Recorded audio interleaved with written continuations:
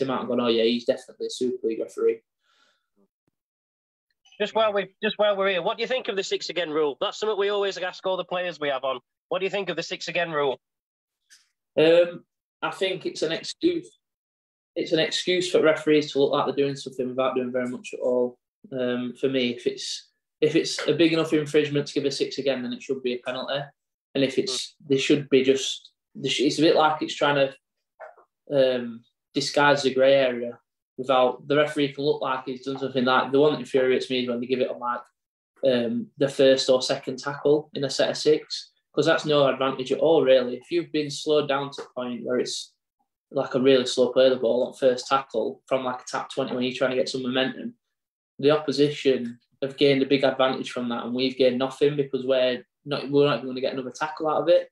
So I think there should be a rule where if if a six again's if he's going to give a six again in the first two or three tackles in a set of six, it should just be a penalty. Um, yeah. because it just I don't know, it feels like a little bit of a cop out sometimes. Yeah. I agree.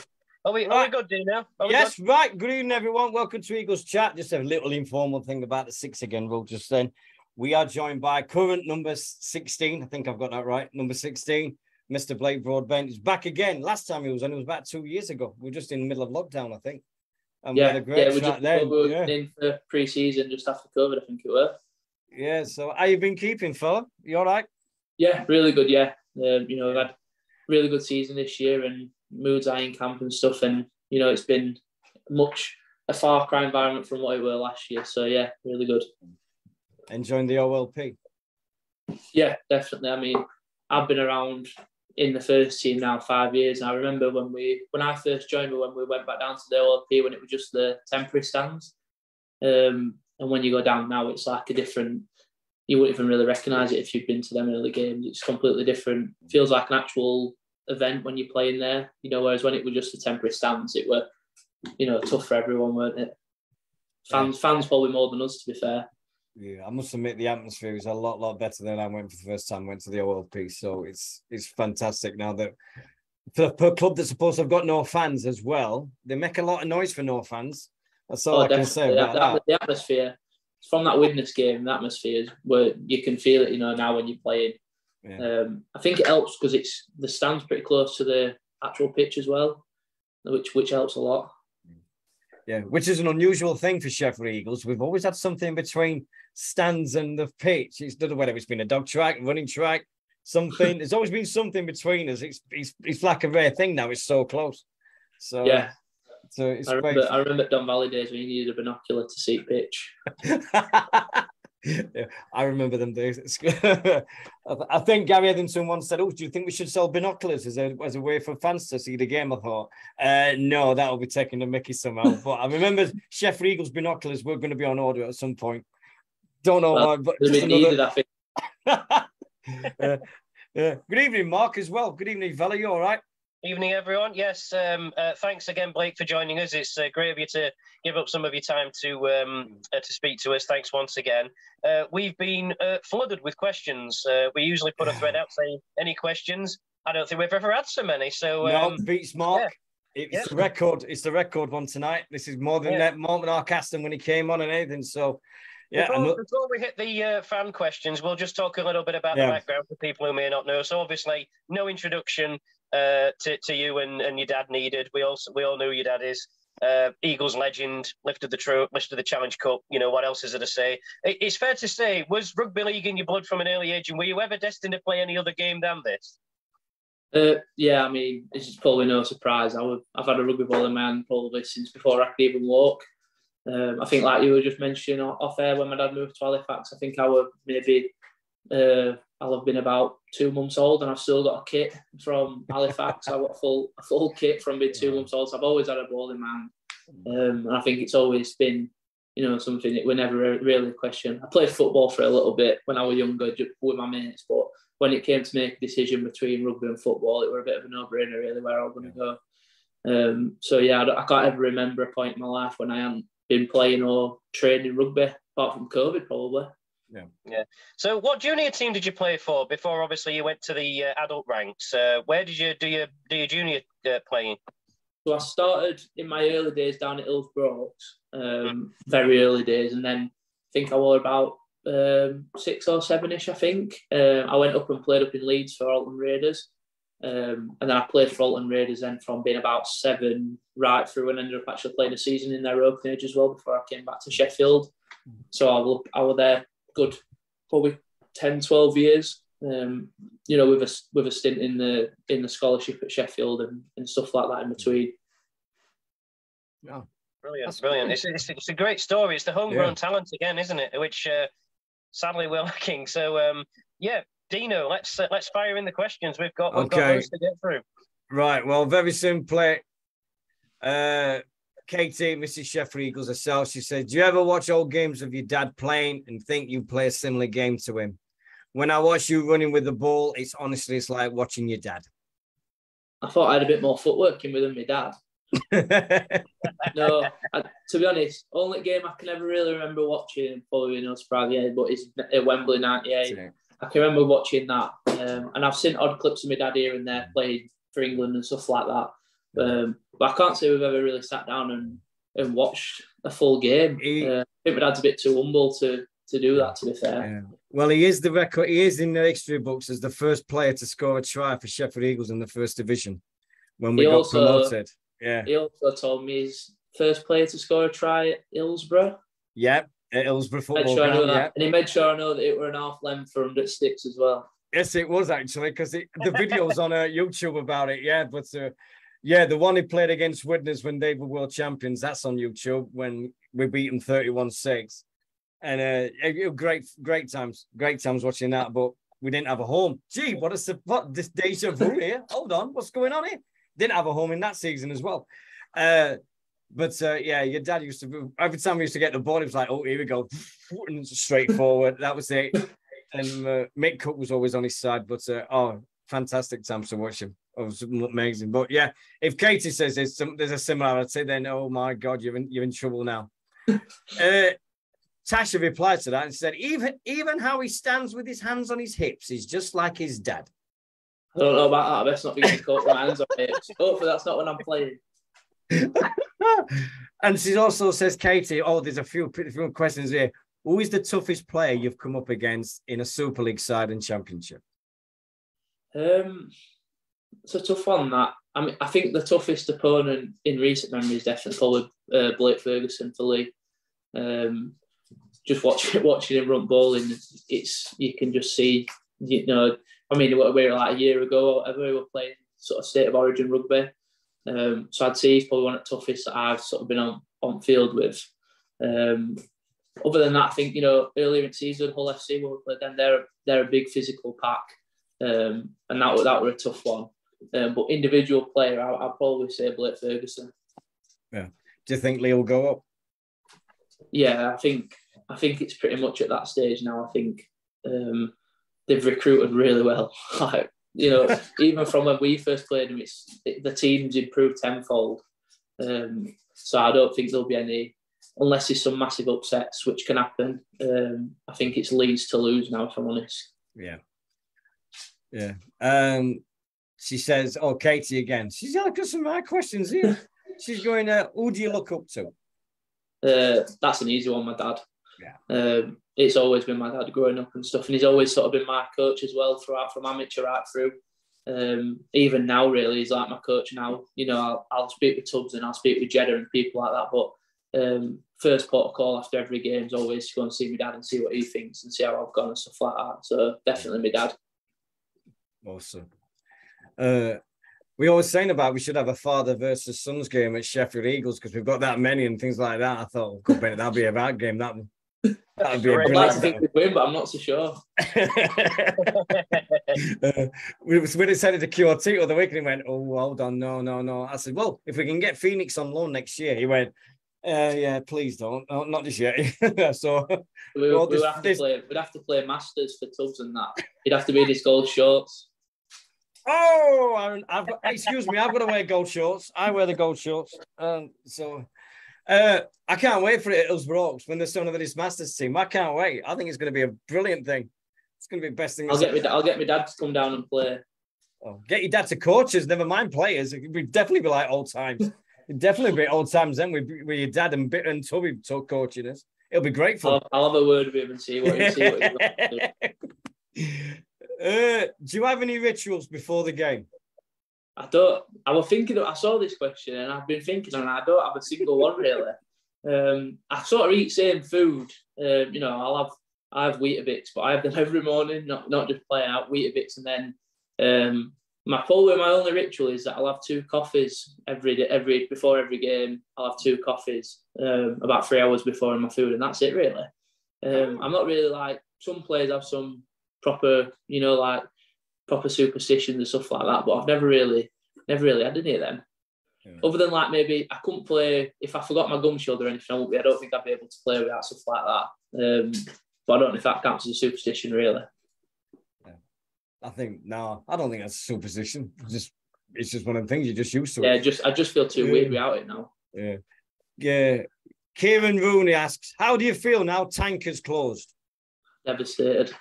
What is Tank? It might be a nightclub. I, I, I, think I know this. It's a nightclub, isn't it, near the Odeon in Sheffield? Yeah, it's uh, it's a nightclub. Yeah, um, it's more just an underground box. Um, that's very warm. Um, but yeah, I'm not I'm not Tank's biggest fan to be honest with you. It's uh, it's an interesting place, full of interesting people. Not yeah, nightclubs used to be full of interesting people, if I remember rightly. we don't we don't judge on this show. No, no.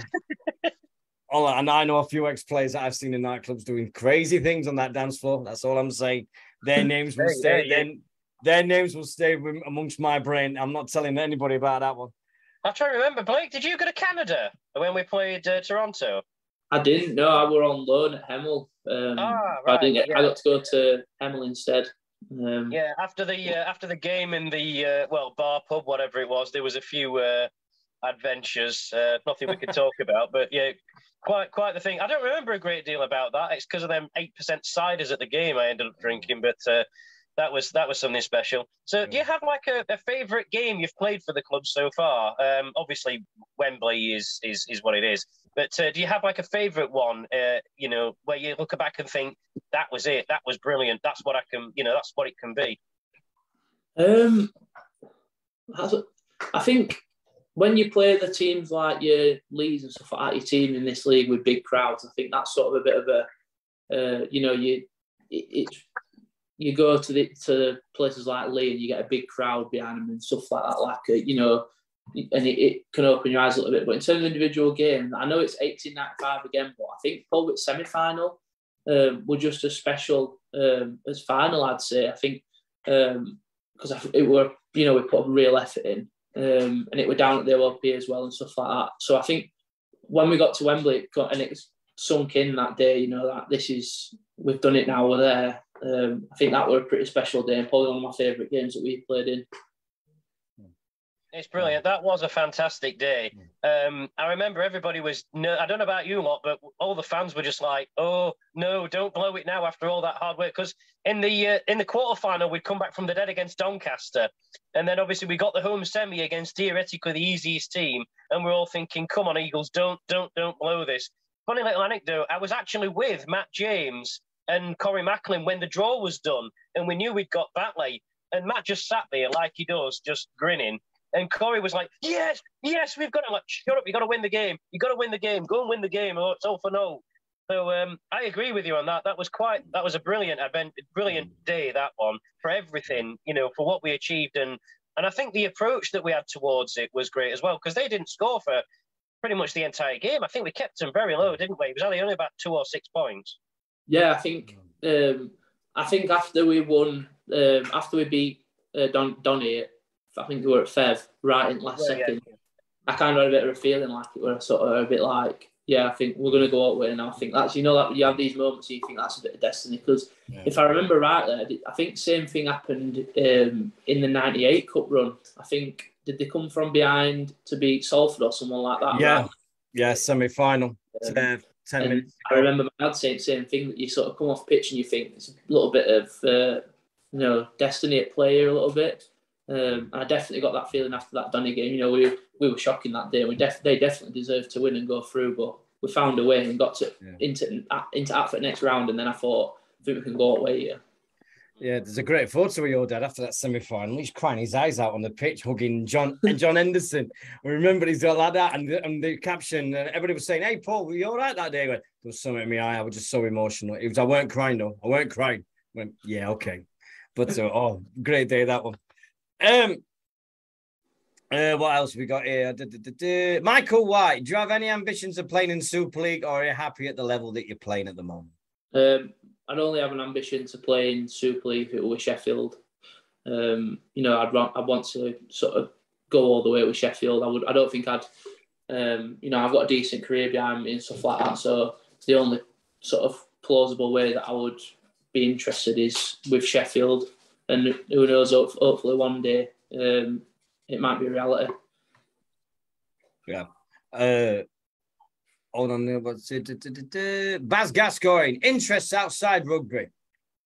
Um, it takes up that much of my time. I don't really have time for any others. Um, probably, you know, um, just sport in general, really. You know, football, American football, um, anything like that. Really, I love my sport. I'll sit and watch that when I'm not playing and stuff like that. Yeah. Um, What's your team on American football again? I forgot uh, this. Uh, Tampa. Oh come on, really? Yeah. Oh, give me a break here. You know, that follows Brady. I've supported them. I've supported them since we since we were shocking. Um, I mean, we've my mum and dad have got um, a villa in America, uh, in in Florida, so we go we go over there a lot. So whenever we could, we go over and watch Tampa. So I've been watching Tampa since um, we had the unfortunate um, scenario of having Jameis Winston at quarterback. Um, so it was quite nice to see Tom Brady come and actually win something for once. I'll tell you straight, if Steelers are playing in Tampa in a few years, I'll go over and cut Tampa and then I'll meet up with you guys and we'll, we'll do, do a Tampa Steelers game. Sounds good. Yeah, or Pittsburgh, even do Pittsburgh. I can do Pittsburgh easy and show people everything. It'll take about 10 minutes, but I'll show people everything in Pittsburgh. Uh, I'm a I'm a 49er because they play red and gold, and, uh, and, and I went there and I went there on honeymoon, and it's incredible. So I took the 49ers. I know they're rubbish, but you know, it's what oh, You weren't far off a couple of years back.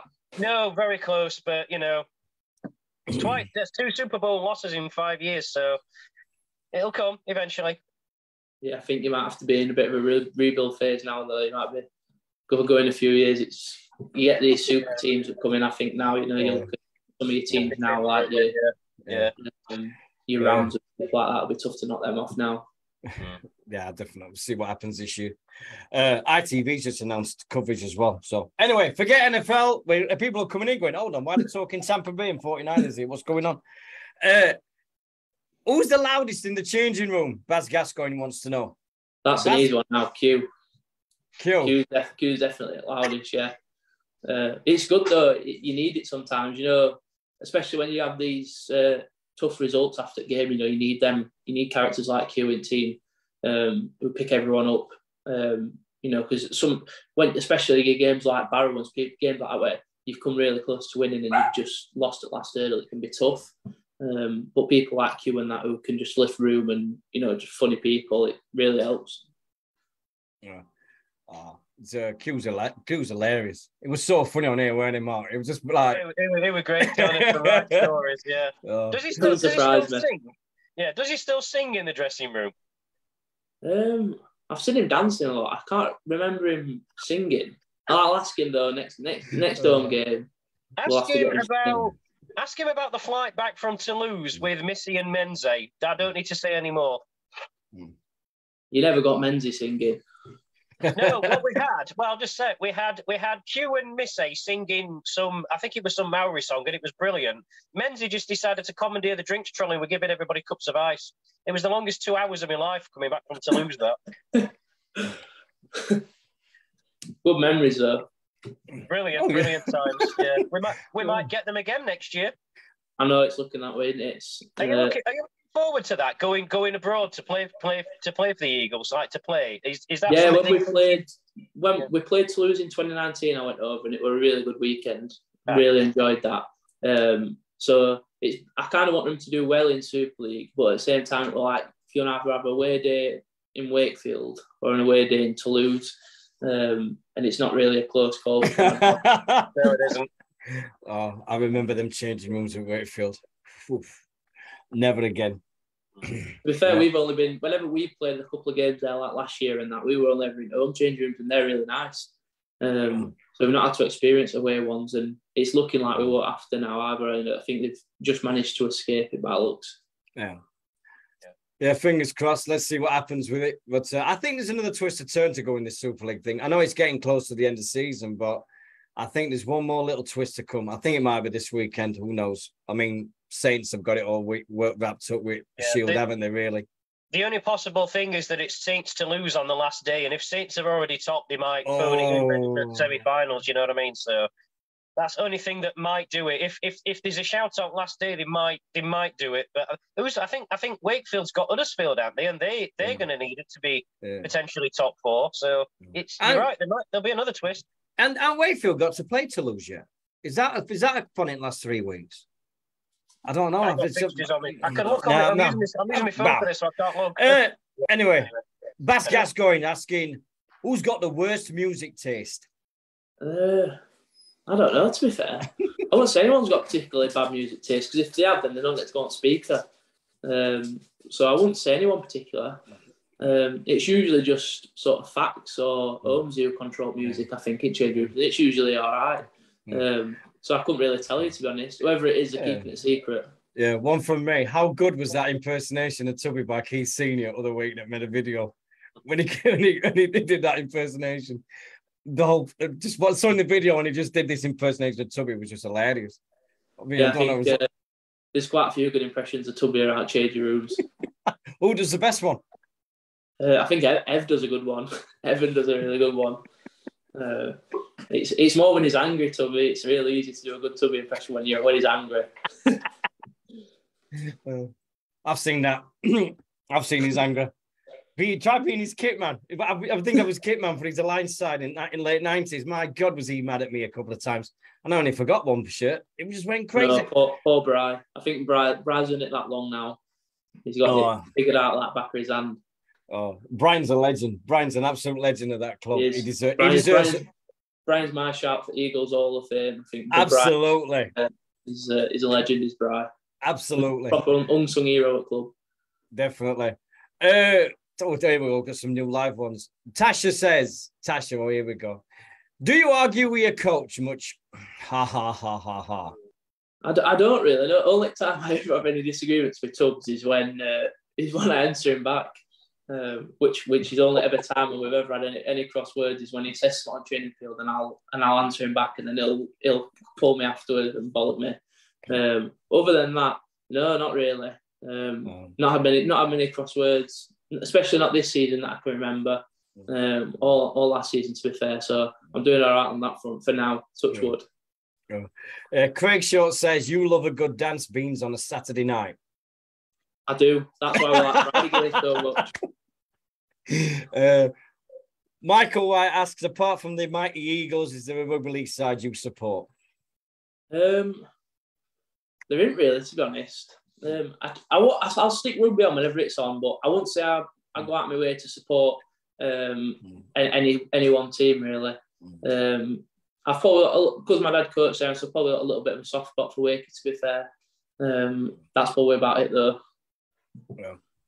Yeah. have an uh, NRL side? Sorry, sorry. Do you have an NRL side? Do you watch any NRL? No, that's another thing. I never really. I watch highlights, but I never really sit down and watch a game. I always just think they're, they're always on it really awful times a day. Yeah. Um, and I can never when when you do train so much and, and, play so much, I think you get to a point where you've sort of had your your fill of rugby league, um, and it's nice to switch off from it and you know and watch something else or do something else. Um, it's easy to consume um, for it just to consume your life. But Penrith just got the minor premiership this morning. They beat South, so that's that's one of the things out of the way. So we know Penrith won't win it because every time somebody gets the minor premiership, they don't get the grand final.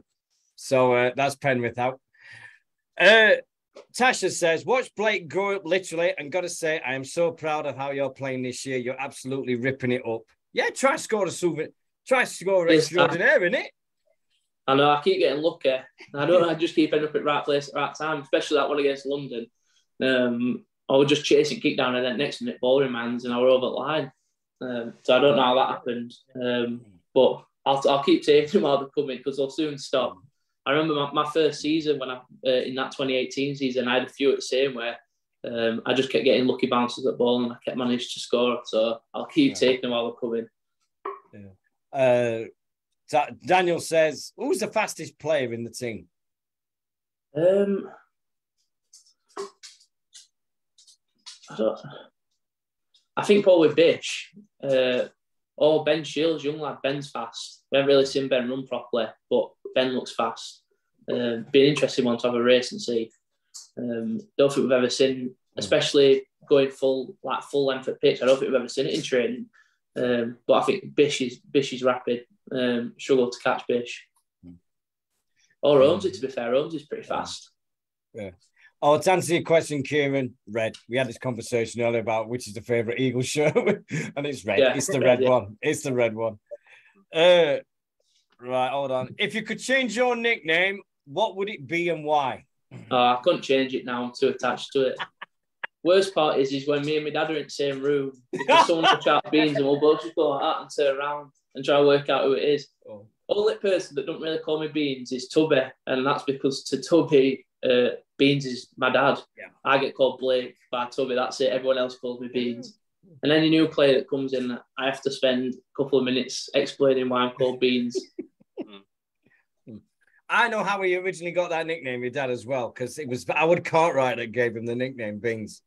And I don't, I, it just came up, and all of a sudden Paul just turned up, and all of a sudden Howard just went, All right, Beans. And that's where it came from because he just no, went, well, Ben. Yeah, I understand where it's come from, but it still doesn't really make sense to me either. Sometimes, wow, why is it? Who's made that connection? Someone must have been very bored. oh, broad beans, and then it just broad ben, broad beans. That's how we, how we, that's how we all got the connection. That was the only way we ever thought about it. Broad ben, broad beans. Like, oh, it. it. Are you called Beans? Is there a movie character that you look like or something? I like, no. Like, when I was younger, I were mini beans, um, and now I'm just beans. Yeah.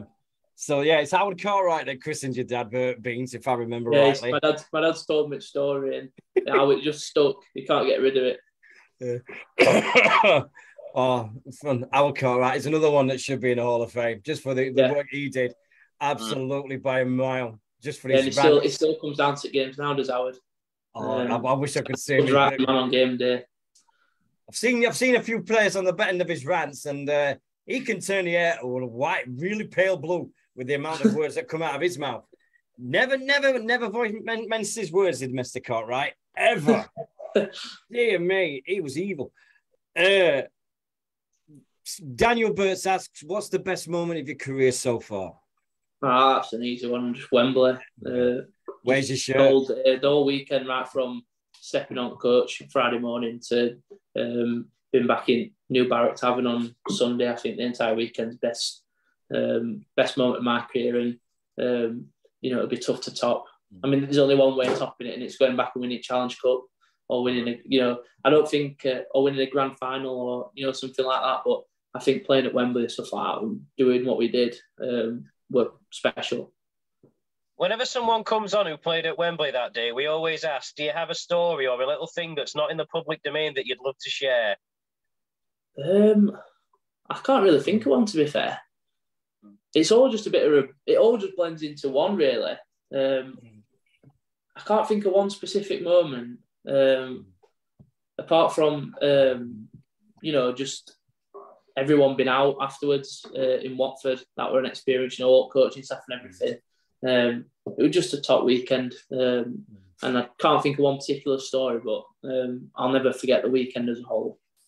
Brilliant. Oh, yeah. Where's the jersey? Where's your jersey? It's it's folded up in me uh, in my bedroom, um, tucked away in, in, a bag. I ain't got around to framing it yet. Um, I've got medal and medal and shirt there ready to be framed um, and and hung up. But yeah, it's all nice and safe and packed away. Yeah, there's memories. Their memories will last forever, and that medal and that shirt will be it. And it's an iconic thing for the Eagles anyway, and it's iconic just like that and on its own. So yeah, I've got a little uh, after the game. Um, I remember we were all after we were all celebrating, we were all got a shirt if we were going back in. I remember looking over and seeing Paddy Burns on floor scratching about on Wembley. I went, "What are you doing?" He went, "I'm getting some Wembley turf." I went, "Go get a bottle, and we'll get some." So I've got a little a little water bottle, and we've got a little load of Wembley grass in it. I went, yeah, we might never, it might never get to come back here, but you've got some Wembley turf now, and it's a good point. oh.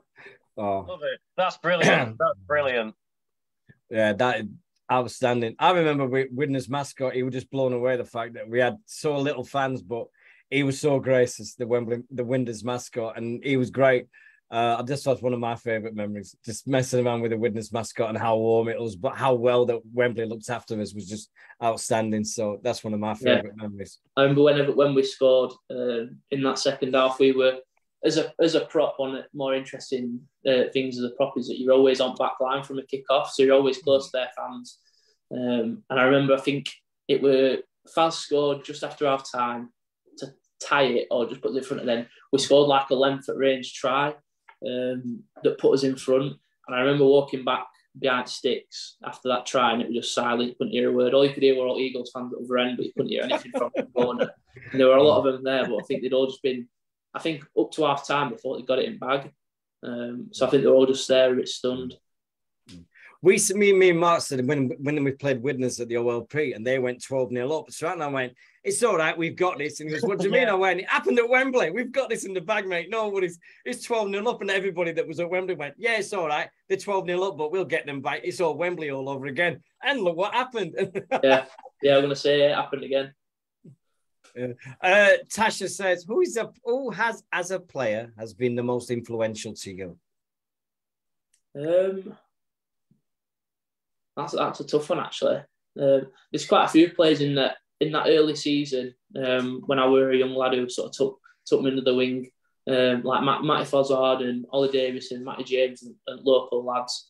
Um, you know, and like this season, you know, like Dicko and people like that have really helped me um, bring me on, and you know, just when when you know when you're struggling a little bit or you've had a bad game, whatever, just people that come over and pick you up a little bit and get behind you and support you. I think they they might not notice it, but it's pretty big as a young lad because sometimes you can go out there and have a really shocking game, think world's going to end, but having that support when you get back in changing rooms and stuff is is massive.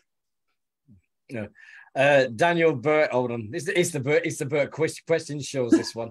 uh, what did you make to Tubby's speech after Wembley at the New Barrack Tavern? Mm, um, I remember heard about this. More to, the, to, to the point, do you remember it? I, I, can remember it, and I'll make sure that Tubby remembers it as well. Uh, I'm not going to let him forget it won't be hard for him to forget it because it was only one word. He just kept saying, wow. wow, wow. That's all I remember. Yeah. I was there. There was some. Uh, there were some broken bodies uh, that day. Yeah. Ollie Davies gave me a hug, and uh, I nearly broke two ribs. He was that drunk. Uh, oh, what a, what a, what an afternoon that were. Yeah, uh, that summarised yeah. summarised Eagles really, didn't it? You know, everyone coming back to one one place, yeah. and uh, yeah. I think you know when you you've got such a passionate fan base that might not be the biggest. I think them intimate moments when you know if you're at another club that's a bit bigger, you don't get to have that same moment or that same closest with fan and player connection really. So I think um, you know so far that's pretty special. It was great that the club sort of brought the trophy and let the fans get the photo with it, you know. And they did that when we won the grand finals as well. If Wednesday ever won anything, God forbid, the last time they did win something, I think it was a playoff, you could have your photo took with it, cost you 10 quid, you weren't allowed to touch it.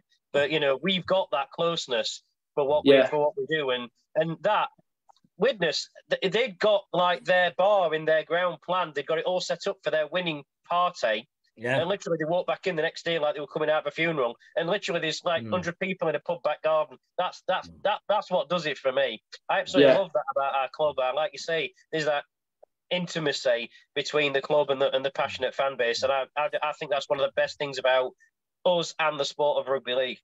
Yeah. And I think it's what you know when you get new fans that come down. I think it's stuff like that that um, you know you can support um, a bigger club, you can go support, you know, a Super League club or like the Leeds Rams or whatever, but you'll never get that connection or that closeness that you'll get down at Eagles. Yeah. Are you watching the cricket game? Is it this weekend? This cricket game or next weekend?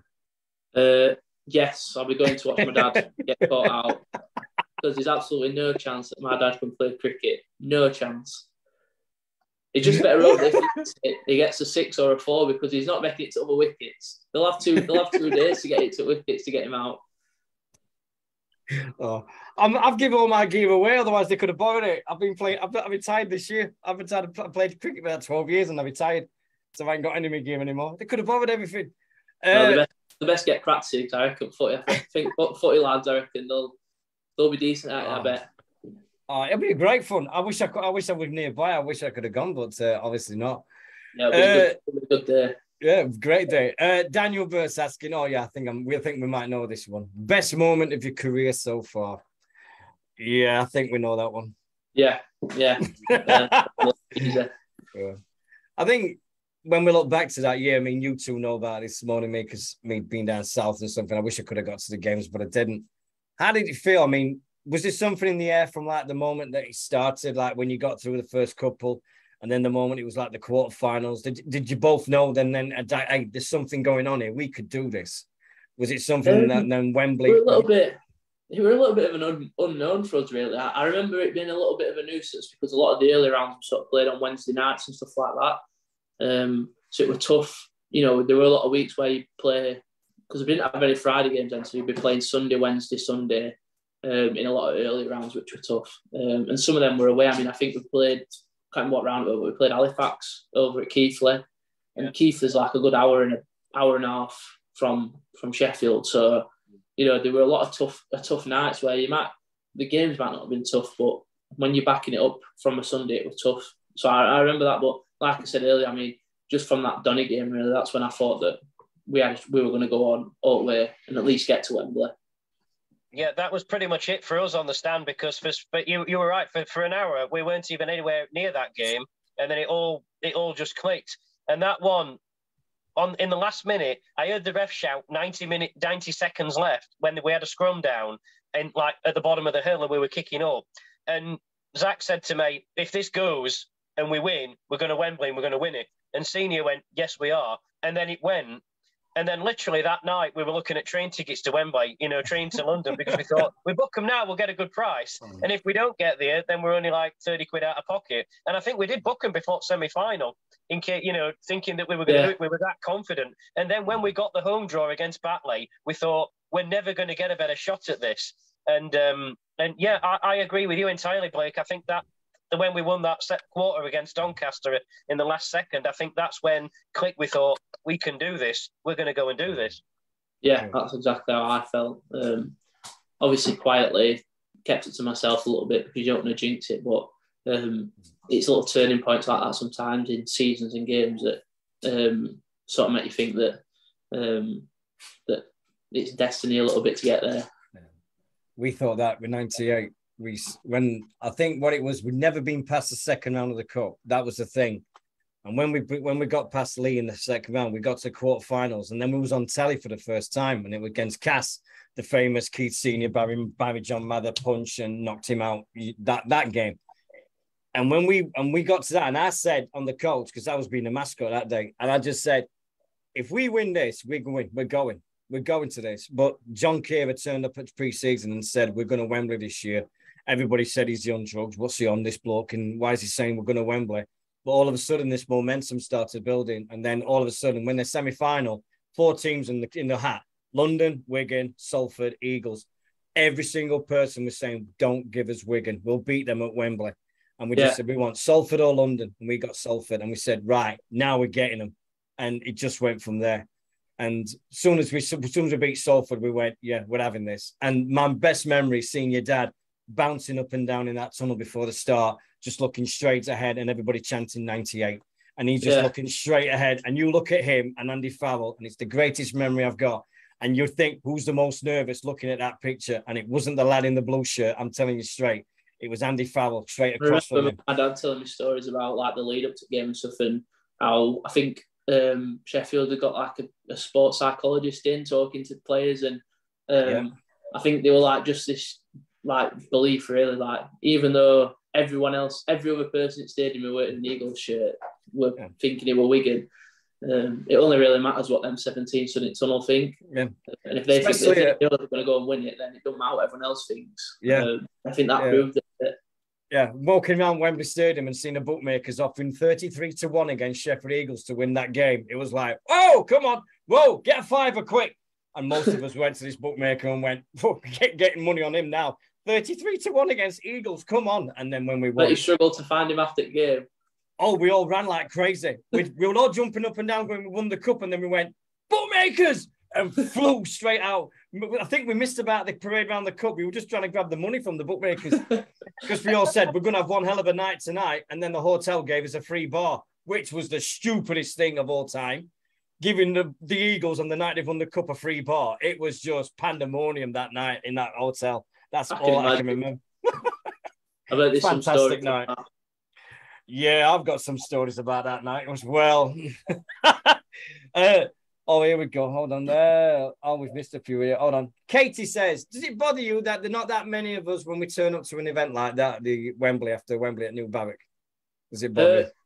No, because it only matters the people who are there. Um, you know, it's it's about the the loyal fans who turn up week in, week out. Um, and sort of them games where you're winning at Wembley and stuff like that. Um, I think it'd be.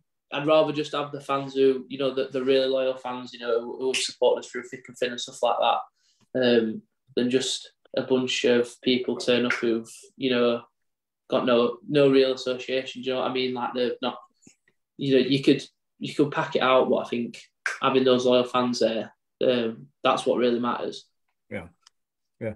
Uh, what is this? Billy Pete says Donny away at Featherstone, 1979 minute winner was pretty mental to see.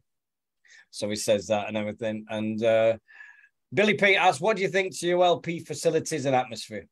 yeah, the, the mega now facilities at OLP. Uh, like I say, when, when we first went down in 2018, we were literally getting changed in PE changing rooms in school um, and walking out and stuff. Um, and now it's the old changing room's got a warm up area and you know it's got everything you could want. It's such such like a professional setup now. Um, and I think I was saying to Tubbs the other week, it's you still pinch yourself being able to get in and have a shower after training. Because I've been at Sheffield now five years, and this is first time that we've been able to um, get in change rooms after we've finished training and have a shower and just because usually we're, we're not got any facilities to do it. Um, and like as reviews and stuff like that all in one place. Um, it's been massive. And I think once we get a full pre-season and a full like season there, um, I think it's going to help us massively. Not even just like that's from a player's perspective. I mean, fans, it must be like just out of this world compared to what they've had to put up with.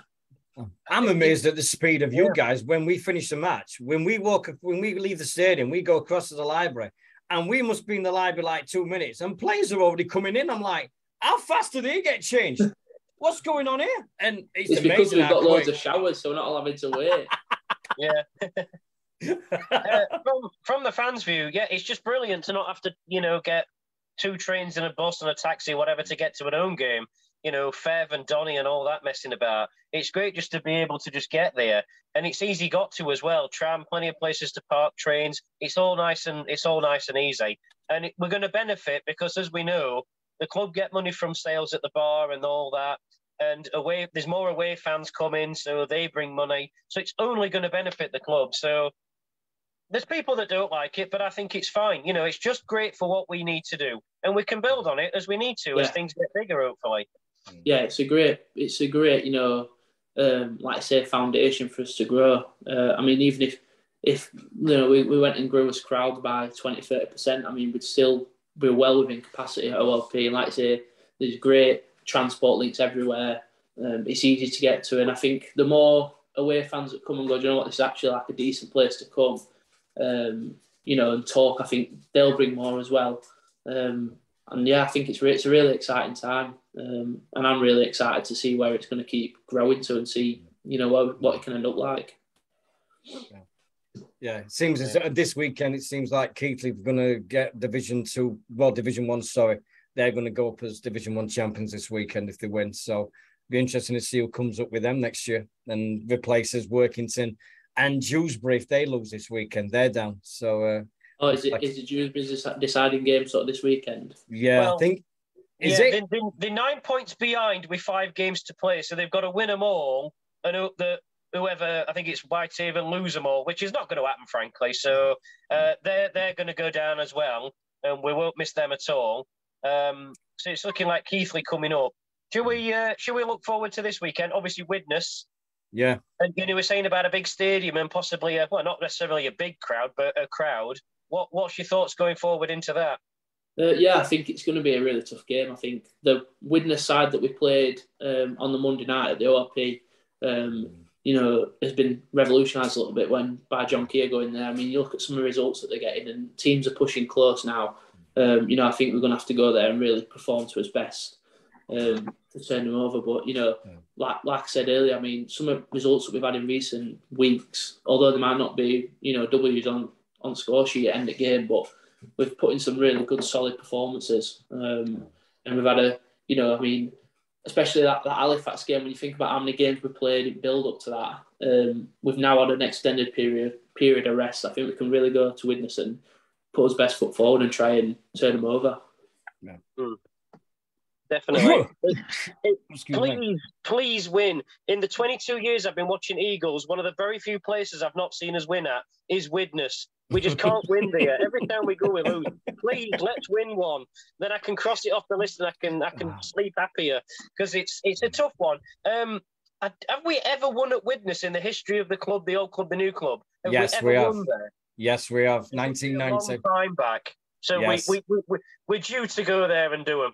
Yeah, it's the years we got relegated because it was the it was the biggest funniest thing because like we drew at Wigan, we beat Widnes at their place, we had some right results and we ended up getting relegated. We couldn't understand it.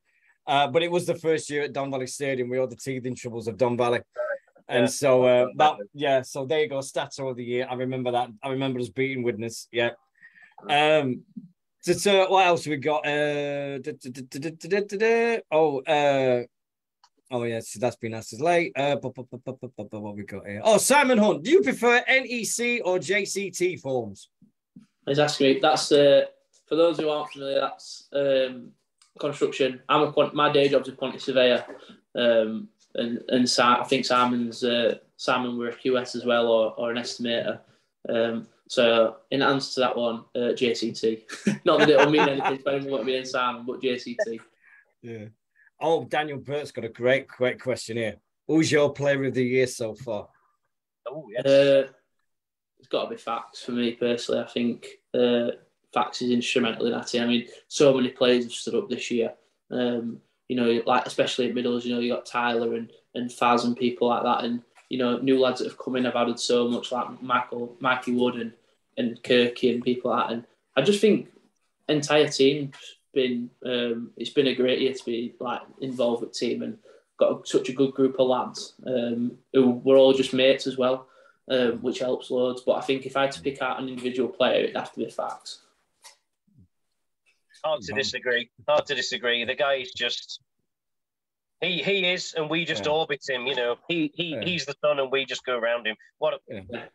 We we had a discussion a few weeks ago. Is he the best player ever to play for the club? Well, if he isn't, who is? You know, definitely the new club. We think, but um, yeah, he, what an incredible player. And I don't know how old he is now, thirty-five, but he's still absolutely smashing it at this age. You know. Yeah, I was going to say you'd still be able to probably come end of season, put an argument in for him, one at, one at best in champ. Um, you know, and I think it'd be hard to sort of disagree. I mean, you look at teams like Leigh and Fevin, teams like that, but um, I think facts would definitely be in that debate for me, anyway. Yeah. yeah. Can we convince him one more year? Do you think, or has he made his mind up definitely? uh, it's uh, it's a bit of a taboo subject. I think. Uh, I think Ooh. it's no nobody's sort of mentioning it to him, but um, you know, whatever it, whatever he does, um, I think he's been he's been like class for us this year. Absolutely, especially yeah. when we had we had Brendan Lindsay on. Uh, one of, I mean, Mark remembers this when we had Brendan Lindsay on. And they were talking about the potential of it. And he said, "Any players that you remember?" And he went, "Yeah, I told Tubbs about Anthony Thackeray when he played at Castleford." And he says, "You want to keep your eye on that lad. You want to keep your eye on it because he's going to be mass. He's going to be a great player." And mm-hmm. hence, look what's happened. So uh, yeah, yeah, that's the only got, publicity we've ever had. hey, brilliant. Uh, right. Never known another player read the game so well, says Katie. And yes, he is. It stacks and everything like that. Oh, uh, what's the worst injury you've had, Kate? She's, on a roll now. Mrs. Mrs. Shepherd Eagle, she's on a roll. Um, I've been lucky, like touch wood with injuries. Uh, last yeah. year, I broke my jaw uh, against Toulouse. Um, so that were a bit wow. bit of a inconvenience, and I missed quite a bit of season. Um, but probably the worst one was this year against Leigh in that five cup when I split my when I split sort of my head open. Um, oh, that yeah. would that would be yeah. oh Chuffing brutes in that game. They were oh. proper nasty, that weren't it? I know that were a, a proper physical well, game. I only managed about 15 minutes. Mm. Yeah, well, we, we, we got it up and we, we stuck it up and they didn't like it. And then that's when brutality started coming yeah. out. Yeah. And yeah, same old yeah. story with Leigh, though, into. Oh, yeah, never change. Never change. Uh, Billy Pete says, How have you mastered the step so well over the years? How have you? I won't say I've mastered it by any means, uh, but I don't know. It's just, I did, from being like um, sort of 15, 16, I've done like quite a bit of like speed training because up to 15, I were quite slow and didn't have much mobility. Um, so it's probably just been something that I've worked on and it's starting to pay me back a little bit. Um, like I say, I've, I've not mastered it. I've got a long way to go before I can master it. I think I need more, a few more lessons with Q before I can say I've mastered step. oh, yeah. Oh, Billy says, was that Harrison Hansen who caused the broken jaw? If that... Uh, I can't remember now. I think it was that Dominique Peyroux and someone else. Yeah. Um, but to, to be fair, like even Leigh this year, you know, I, the two like them Toulouse last year are a bit reminiscent of Leigh this year. Um, you know, just sort of head and shoulders above competition. Um, but they're always a good, you know, whenever you finish and stuff, they're always really, you know, like good good lads when you speak to them after game and stuff like that. All come up and ask how you are, and if you're all right, stuff like that. Um, yeah. So I wouldn't say there's any arrogance about them or anything like that. Um, but yeah, I think it was Dominique Peyroux and I can't remember other one were. Um, but yeah, I think they just clashed clashed shoulders and heard it cracking tackle and knew just started walking to the doctor straight away. Who does the hardest hits when they're tackling? Is it who I've played against? No, who are you playing playing with? Who's the, uh, the Dougie, hardest Dougie hit? this year. Dougie's got a knack for it this year. Um, it just comes out of nowhere. It's like a train. Uh, one minute he's next to you in line, the next minute he's laying someone out flat. Um, oh, we've got to wish happy birthday to him as well. Happy birthday. Happy yeah, birthday. Dougie, Dougie's birthday, I think it was yesterday or the day before, and then yeah. Tyler's birthday is today. Oh, today. Yeah, Tyler's, yes, that's it. Sorry. They're all coming down thick, thick and fast now. Yeah. Have you got a holiday plan for end of season? Uh, yeah, I'm going away to um, America with my dad. Um, so we're off, off, off to America for a, a week or so. Um, I had to rebook it because uh, I went to Tubbs and went, oh, I'm booking my holiday. I said, it's 16th of September that we're flying. he, went, he went, you best get that rebooked. He went, that's end of season due. I went, oh, like, it's a good job I asked then. So I remember saying, I went, I went, surely it'll be fine. It'll be before then. It's usually before end of season, uh, yeah. season do. Yeah. Um, but yeah, I've got it all changed and everything. So yeah, I'm looking forward to getting away for a little bit. Oh, I think I think that night's going to be amazing. I can't wait for it. It's going to be great this year. Yeah, it's going to be really good. To have, uh, yeah. Not just but you know you've got uh, women's team and, and, teams like you know it's going to be a good night for the Sheffield Eagles as a whole. Never yeah. mind men. What's, what do you think to the women's team at the moment? They're flying, oh, yeah, aren't they? Yeah, they're smashing it. It's, it's really good to watch. Um, you can see every every game we've watched them, you can see them like improving, and getting better. Um, and it looks like they're a bit similar to us, you know, like a real tight knit group who enjoy playing for each other. Yeah. Um, so I love getting down early and watching them before we get on. Well, it's, I've never seen a club as tight as that. the thing that I've said it to Mark and I say it to everybody all the time. It's nice to see each each club wearing the same kit, so everybody wears the same jersey with the same sponsors and everything. And I don't think any other club does that. Everybody looks like as soon as you see it, it's like Sheffield Eagles is there, and that's the way it should be with everything. Yeah. So I think it's you know to say this is the yeah. first year that you know we've had this sort of going for us. Um, it's come on massive, um, and you think that a few years down the line where it could grow to, um, you know, it's exciting times. Yeah. Oh, two people in our chat room can't go. Tasha says she can't go, and neither can Katie Pete. So the no, two people are going. to Yeah, Tasha, she's away. She says. Oh.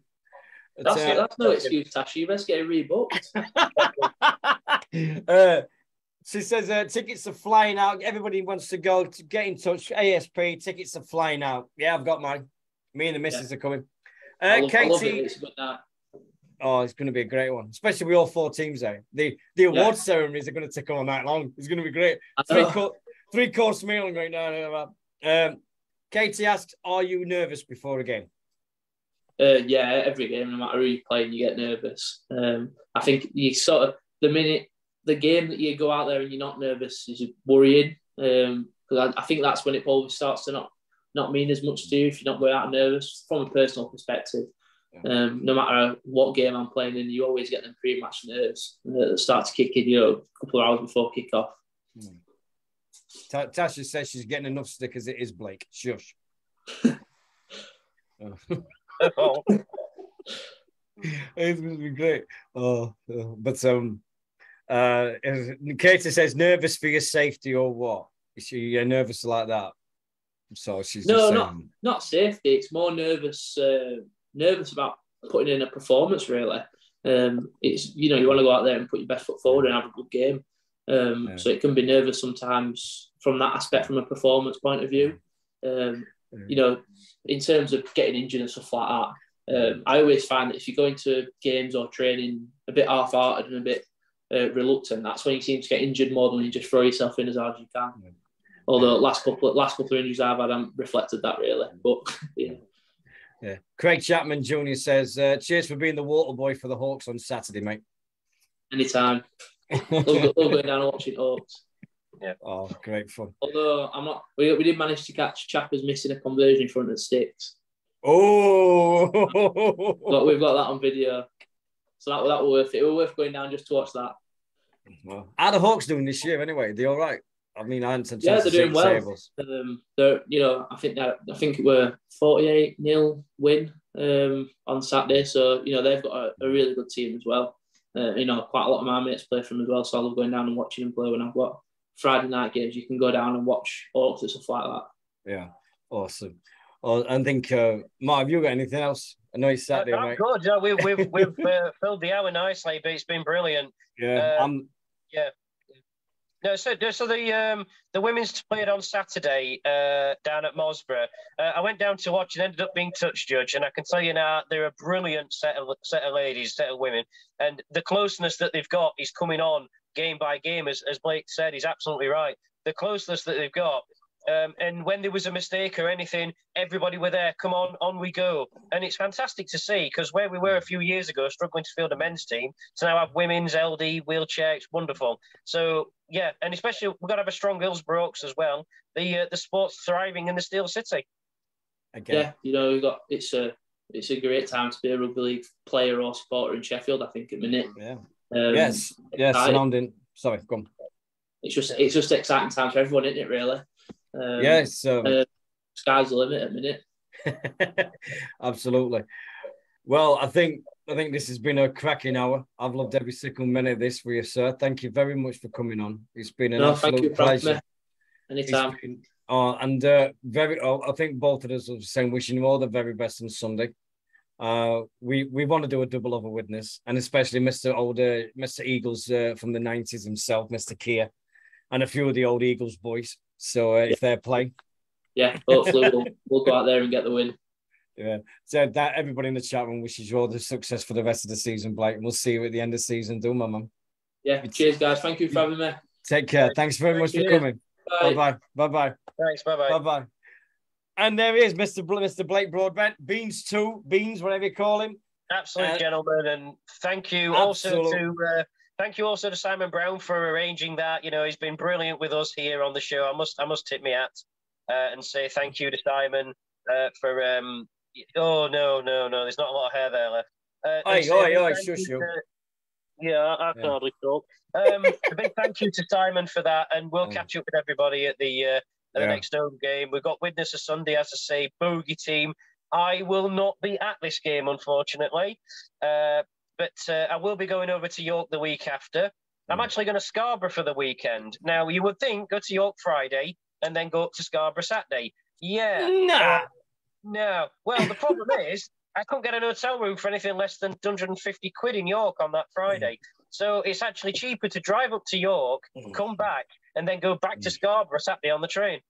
So, you know, also anybody who is going to York, uh, I normally uh, fly the flag for going on the train and all that. You can't get back the Friday night after the game. So if you're going up, um, I don't know if any of the um, Blazing Squad are going to organise a minibus or anything, but public transport is not your friend, unfortunately, with it being a Friday night. But yeah. let's get as many there as we can. It's a new ground to tick off the list.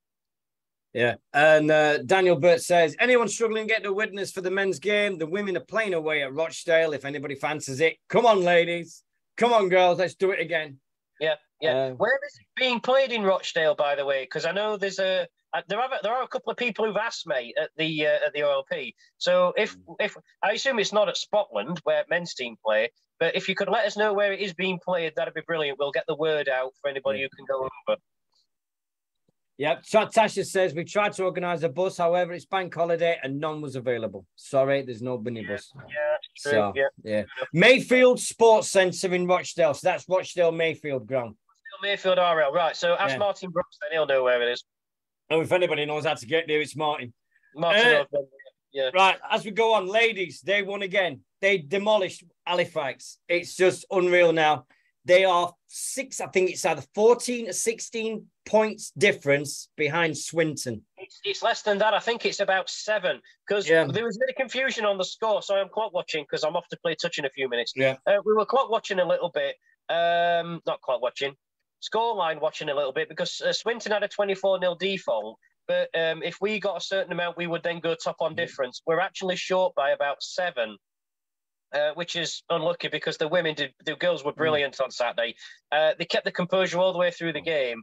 And uh, is it four? Yeah, four. Um, yeah. And there was a spell when Fax got a couple of tries, but the Reds never went down, and they finished strongly. And uh, well done. You know, I got a, I got a grandstand view of that because I got down there to watch, and um, referee turned up with two flags, oh. and we're like, he's going to need a touch judge here, and I'm like, I'll keep an eye out. Anyway, they had somebody doing it, and then he came over and he said, "Sheffield, can we have a touch judge, please?" Now, obviously, Dan and Liam were helping, were doing the team. yeah. Andrea can't run, and everybody else were watching. So I just went, oh, I'll, "I'll go and do it," because obviously yeah. I've done mid course and I know the rules to a point. So I went and did it. So mm. yeah, in 32 degrees heat in me chuffing uh, cargo shorts, running up and down, and I went behind the sticks and gave the goals, and I did the lot. Yeah, yeah. But uh, in all seriousness, they, they were really, really good on Saturday against um, Fax were a big side. You know, yeah. the, the, the IFAX forwards were, were, were big were big girls, and they handled it superbly with the tackling. And um, what you know, they'll have learned and learned and learned, and they're getting stronger and stronger. And I can't yeah. praise them highly enough. I really think that from a standing start to here in seven months, it's incredible, mate. It really is. Yeah. Tasha says you did great, Mark. Thank you. Oh, there you go. My, my t-shirt didn't agree when I took it off later, but that's not that's not an Yeah, um, um, yeah. So that were great. Yeah, no problem. I'll always help, as you know. Um, I'll have to uh, chip off in a minute because we're right, there's people at car park coming. So uh, uh, yeah, big thanks to Blake for coming on the show. It's always a joy when we have players on. And yeah. uh, I'll see uh, you all. Are you coming up for any more games, Deano? Is it just the end of season now? End of season for me. That's it. Yeah. That's all I can, I can manage now. It's the end of season, one in middle of September. Yeah, smashing. Yeah. So uh, thanks very much, and I'll see all of we'll you see. in York who are going, and then after that at OLP.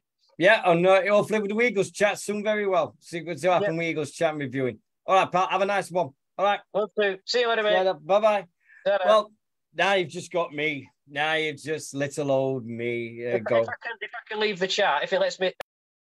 There we go. He's gone. Ah, there he is. Just little old me now finishing off with. Right.